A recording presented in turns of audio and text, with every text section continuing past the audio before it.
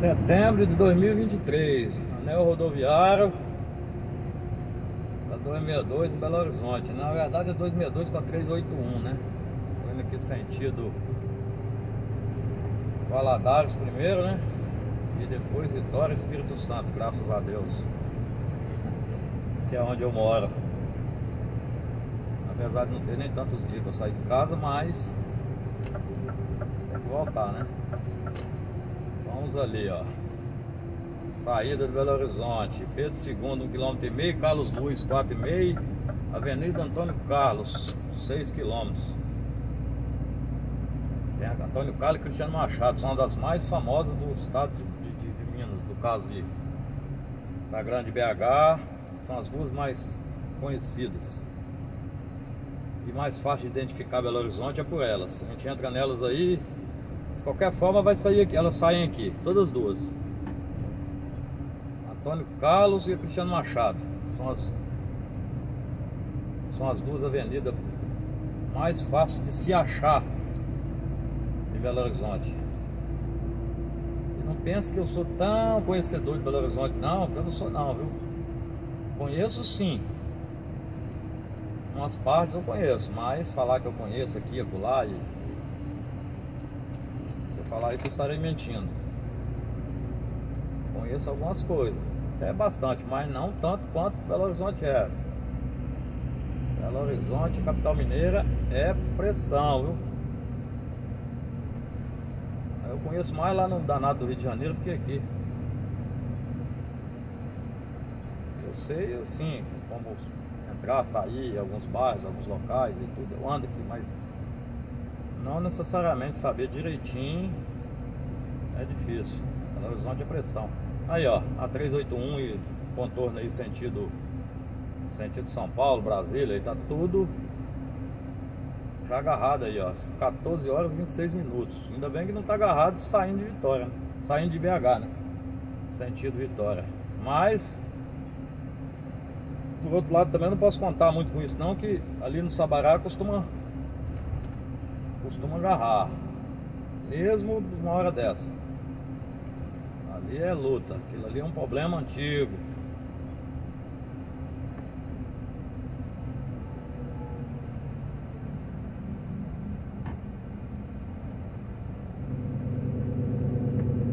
Aqui tem que ter paciência também. Calma que o negócio é é tenso. Deu uma limpada. Agora dá pra mim.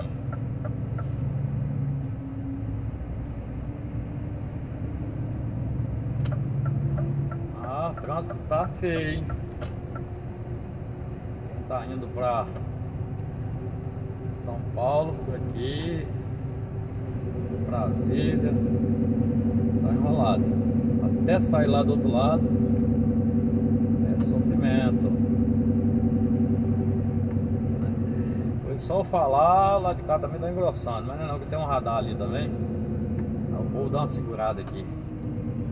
Lá na frente tá tranquilo. Vou deixar mais um pouco aí pra vocês verem o, o movimento.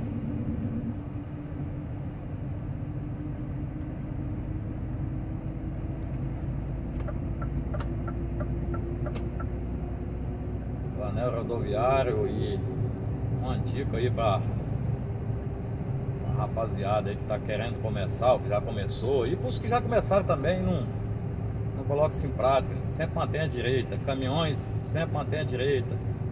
Se for ultrapassar um pesado, ultrapassa e volta para direita novamente, não fica lá na pista lá, ou direita ou do meio. E dependendo do horário aqui, andar na do meio também não tem problema não, mas muito cuidado para sair para a direita aqui, porque eu não gosto de andar na do meio, porque às vezes tá na do meio, daqui a pouco resolve passar para a pista da direita. Aí tá passando um veículo pequeno, uma moto, um carro, a gente não vê.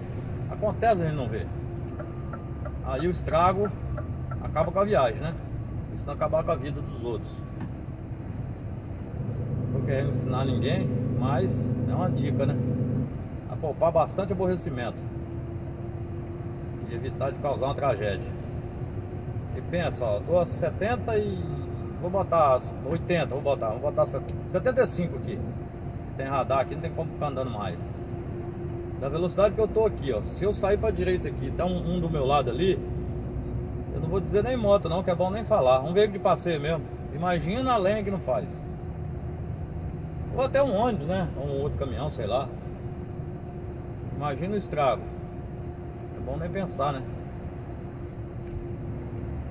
A gente tem que ter cuidado nisso aí, ó. Igual aqui. Eu não vou ficar na direita atrás do caminhão pesado, né? Pra formar uma fila que eu tô mais embalado que ele. O que, que eu faço? Passo. Passo ele e volto pra direita. Se tiver outro, passo o outro e volto pra direita. E assim vai. Não é igual esse cidadão tá fazendo aqui, ó. Isso aqui já tá todo errado. Tá com o carro menor, mas tá cunhado de peso e querendo segurar a, a, a, via da direita ali. Porque chega aqui na frente também, ela vai e funila ali novamente. Ela funila no viaduto do São Francisco ali. Fica bem estreita. Aí o cara acha que vai perder tempo aqui e vai e sai pra, pra esquerda.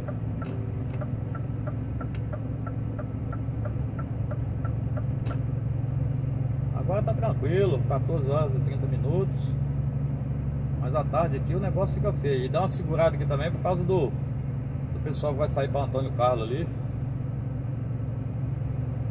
Avenida Antônio Carlos ali. E dá uma segurada também.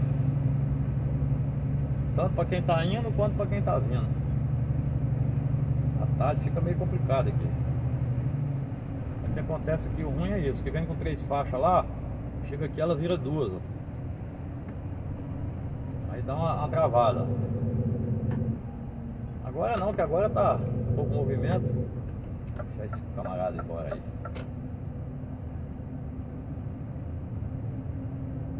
Ah, é Dona Teixeira. Aí essa é Antônio Carlos é embaixo aqui, ó. Cristiano Machado é a outra. Passa por baixo aqui pra.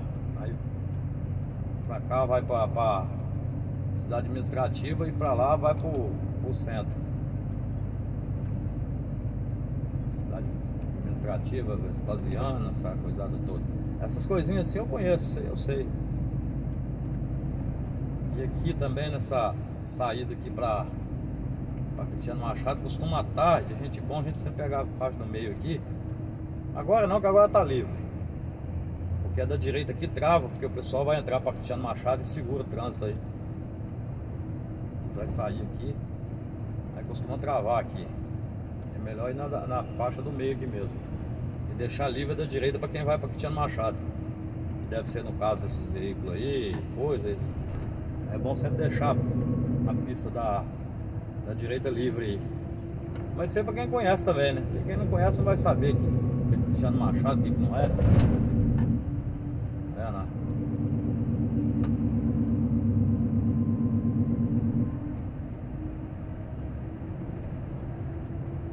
Só para quem já sabe mesmo.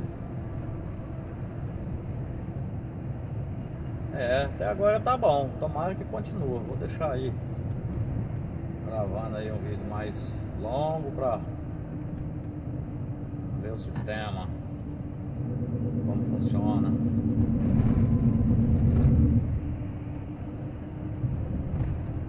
O pessoal que conhece pega tudo a lateral aí, ó. Pega Cristiano Machado ou da direita aqui, ó. A saída dela é ali. Mas trava tudo. À tarde isso aqui para tudo. A, do, a, do, a pista da esquerda ainda anda um pouquinho, mas. Aí aparece aqueles que quer levar vantagem. Aí vem na pista da esquerda e quer entrar de uma vez para a direita. É aí que dá o problema. Aí daí a pouco.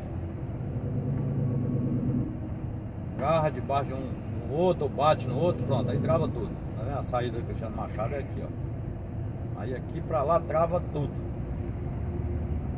Agora tá tranquilo. Esse horário é bom demais. Tá me preocupado, tem que sair de tarde. Aqui, quantas vezes já saí daqui? 6 horas, 7 horas da noite, 8 horas, tem tá tudo, tudo parado. Graças a Deus saindo essa hora tá muito bom. Ai. Eita, essa população também, isso aqui não, nunca dá um jeito nisso.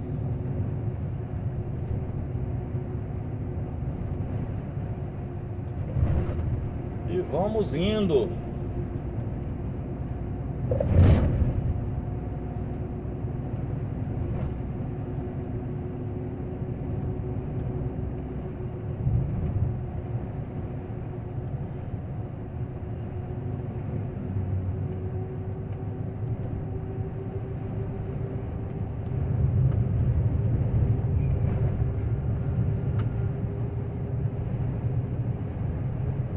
Disse, o lance do, do, lance de ficar na esquerda ou na direita, ó. O cara do cimento aí, ó. O cara nunca deve fazer isso. Ele tinha que sair pra direita aí pra me passar. Entendeu? Ou então ir lá na esquerda pra passar. Ele não anda nem na, nem na, nem na pista da direita e nem na do meio. Porque o carro dele é muito grande. É luta, tá? Aí faz a gente perder o embalo, ó. Aí por isso que muito motorista fica bravo. Aí xinga, daí a pouco embala e bota pra cima dele. Não é o meu caso, né? Prefiro deixar ele ir. Aí outro aí, ó. Aí outro aí, ó. Tá vendo? Agora o que tem que fazer? Tem que passar pela direita. Tá vendo? Isso aí é muito errado. Ó. Olha só. Ó, isso aí é um perigo danado, ó. Vê se ele volta aqui, porque não vai voltar não. Como uma pessoa pode dirigir dessa forma, gente? Eu vou falar a verdade, não é fácil não. Eu passar no direito de uma praga dessa eu não passo. Nem pensar. Melhor ir lá na esquerda e passar ele. O trânsito tá tranquilo. Ele não vai sair daí não. Vocês são os mal profissionais, de uma empresa grande dessa daí, ó. E ele é daqui, viu? Você é bom o chefe dele ver ele fazendo isso. É muito bom o chefe dele ver ele fazendo isso. Isso é daqui.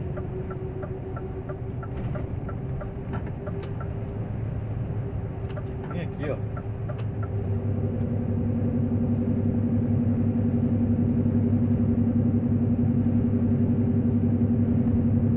Rodovia Estadual de São Paulo. Se a Polícia Rodoviária Estadual pegar, é multa na certa. Nem para. Só liga a sirene e anota a placa. E manda a multinha. Quando o cara chega em casa, a multa já tá lá. Ainda reclama. Fala que a polícia que tá errada. Fazer isso aí na rodovia estadual de São Paulo é um risco enorme. Mas tá cheio de avisos, mas eles fazem. É como se fosse é, cego.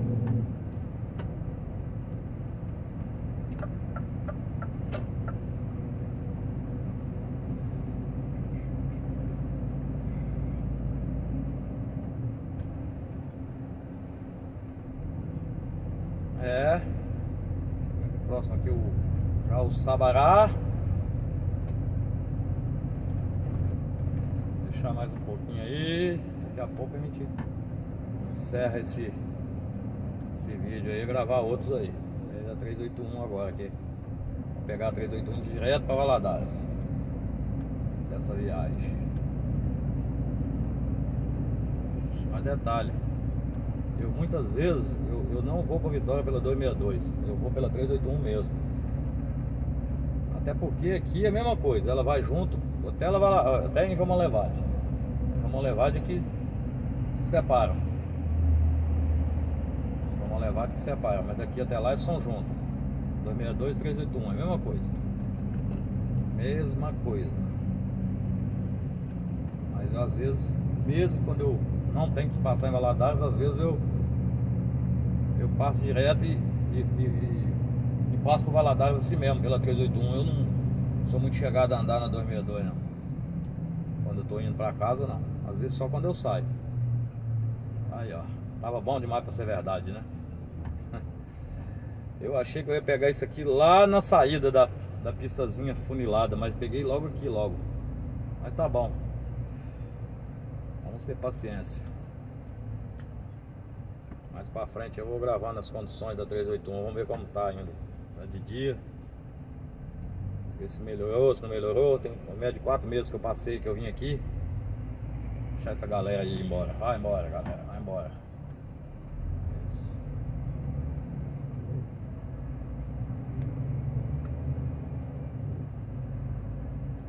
Não adianta ter pressa.